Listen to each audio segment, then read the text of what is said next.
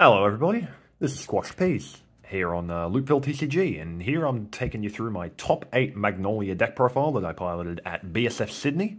Um, really fun event, I had a, lo had a lot of fun, um, went personal record of 3-3, uh, because uh, bad luck is, it's just, it's just how it is in D, you know, getting over-triggered, you know, it's pretty good, but other than that, I just figured I'd talk about Magnolia for a little bit, for those of you that may not know about it, and give you a little bit of insight into what the deck's like and uh, what it's going to be like, hopefully come Friday. Yeah, full warning, this is done before ban list is revealed, so hopefully, hopefully, we get the same sort of thing as Japan with a bit more. Alright, let's talk about the ride deck first. Now, we begin with our starter. The best starter in the game, I will not hear a word to the contrary. Dream Nibbling, he's great. They've I want more SPs, by the way. Hit me up if you have any. Ranked-Chain. Uh, Ranked-Chain is our grade 1 of choice. He allows you to Soul Blast 1 to draw two cards. Then you can either discard two cards or one order from your hand. Uh, very good grade 1. I'd almost argue he's the best ride deck grade 1 in the entire game. But, um, yeah, free advantage at the cost of a Soul Blast. Very good. Black Tears Husk Dragon, this guy, when he's rode, you get to put a normal order from your drop zone back to your hand. Um, really good for the simple reason that he's... You can Soul Blast him out, and then you can call him back with one of your many ways to revive things. If you play an order, he's then, you know, slightly bigger. Lets you hit numbers. And finally, of course, Magnolia. So Magnolia, very good. End of battle that it attacks, you can counterblast one, to give a back row rear guard the ability to attack, or give a rear guard, sorry, the ability to attack from the back row and plus 5k power. And if you happen to Persona Ride, which I don't run in this deck, you get to choose three instead of one. So, Magnolia here, you know, it lets your turn three, like your first grade three turn, be four attacks, which is pretty strong for the cost of a counterblast. And, you know, very strong. Also, you know, DSR, gotta flex it because Megami is really cool. All right, let's talk about the main deck. We begin with half the reason this deck is good. For Magnolia Elder. Ooh, SSR. Heck yeah. All right, so when Magnolia Elder is placed on the Vanguard Circle, you can call, you can choose a card from your soul, I should say, and you may call it to rear. You don't have to call if you don't want to. That's the best part about this. And also, the real reason why it's good if you have one or more cards in your soul or on your rearguard circle with Magnolia in their card names, hint, um, all of your rearguards can attack and intercept from the back row and get power plus 5,000. This includes during your opponent's turn, so do keep that in mind if they try to swing into them. Um, so yeah, the ability to call stuff from Soul just for riding is really good. Means you, you just get free field. Um, against decks that don't retire a lot, so things that aren't like Gravidia or Eugene or the like, don't be afraid to call this from Soul. Like, if they can't touch your field, this is just like the freest attacker you can get. It's especially good if you don't have, say, other like high power things like Inlet Pulse. If you haven't drawn them, then you can just call Magnolia and it's a free 18k attacker. Or you can just like call another one of these from your hand and, you know, just get it for free. But yeah, Magnolia Elder, very much half the reason the deck is good. The other half of the reason why the deck is good, and the elephant in the room, Mr. Inlet Pulse Dragon. So, Inlet Pulse, I should explain why he's good. First skill, doesn't matter, you're not on Flagberg. The second skill is where it's at. The end of the turn, if you've attacked four or more times in that turn, you put him into the soul and draw one card. So this gives you a really, really consistent draw engine in the mid to late game when you're trying to just kill your opponent. Because Magnolia is a control deck. I really do believe, like, despite the fact that it can do six attacks, it feels like a control deck. Just because, you know, you're pressuring your opponent with high power rear guards and then just drawing a million cards for it. There's no reason not to call it. So, for those of you who may not know, recently in Japanese, Inlet Pulse here was choice restricted with Magnolia Elder, so you can either run Magnolia Elder or Inlet Pulse, not both. Um, considering that the ban list comes out on Friday, at the time of recording, um, I expect the same hit to happen in English, considering just how good Magnolia is as a deck. So, replacing Inlet Pulse, it's going to be hard, because Inlet Pulse is really, really good, and Magnolia losing its draw engine will stop it from being like arguably the best deck in the format.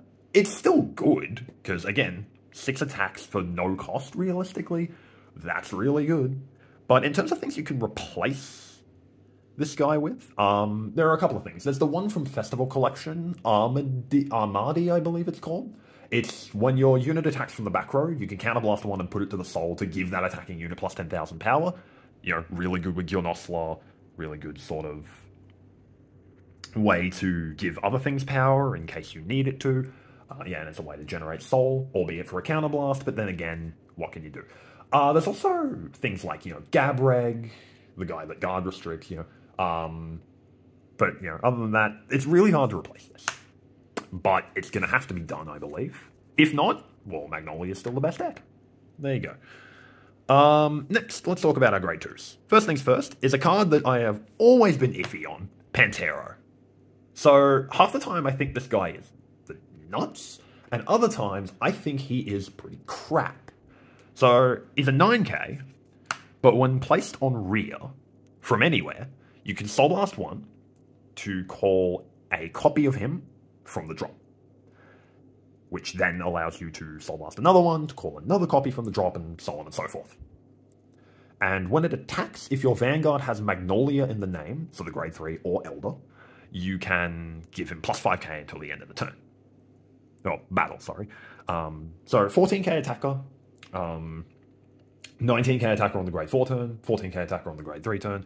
Um, yeah, that sounds pretty, and can call itself back. That sounds really strong at first glance, but there's one big problem I have with him.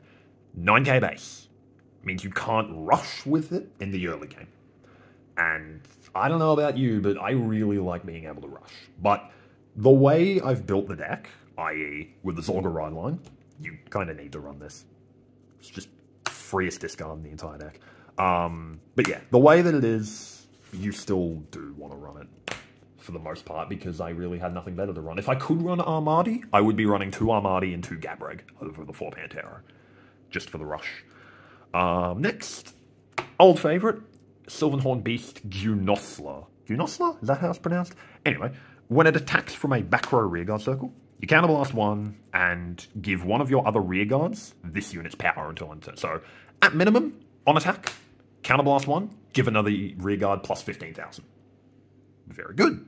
Um, and again, it's a 10k, so you can rush with it early game. Uh, you can also, you know, if you have multiples of these, you can just play volleyball, you know, swing 15, give 15 here, swing 30, give 30 to another rear.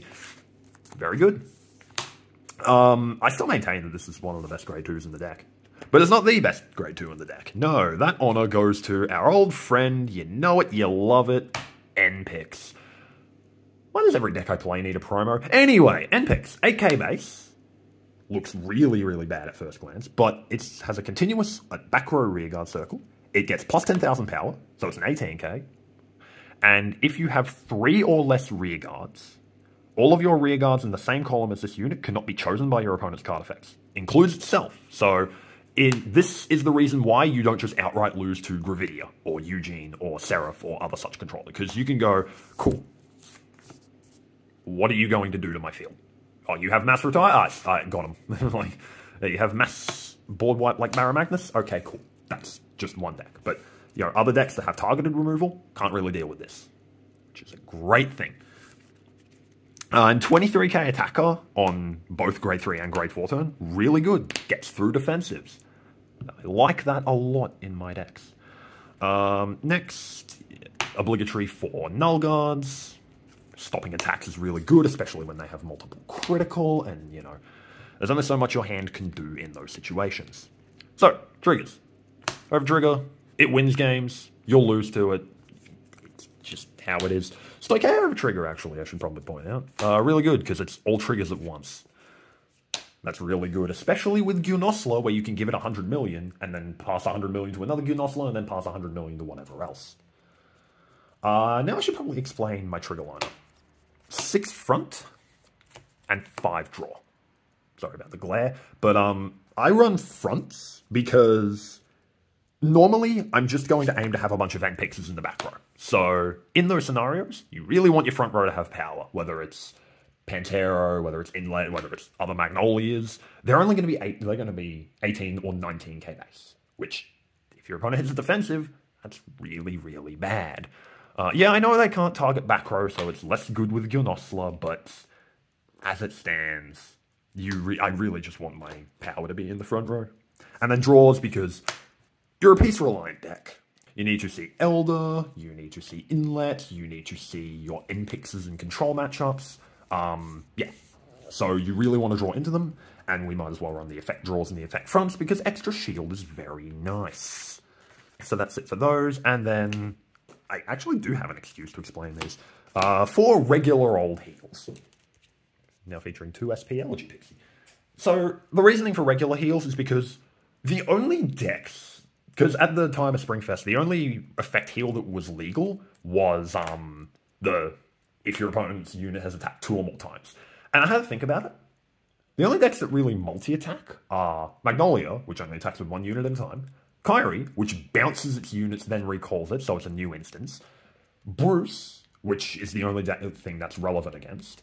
Um, and other than that, not really anything else.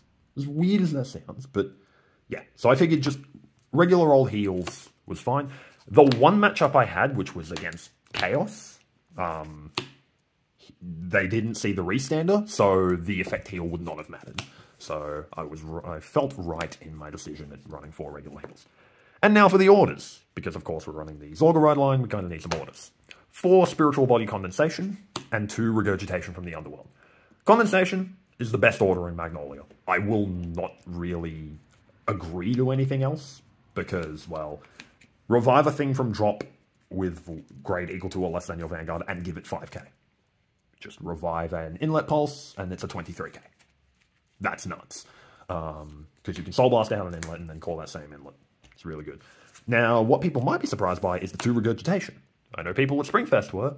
Um, so for a Counter Blast and a Soul Blast, you can retire any player's rear guard, your own or your opponent's, and then call a card with the same grade as the retired card from your drop. So they give you a grade 2, cool, I can kill it and then bring back a Gilnosla or an N-Pix or a whatever. They give you a grade 3? Cool, I can just bring back Magnolia or Inlet Pulse. Um, removal is really good, especially against decks that don't expect it.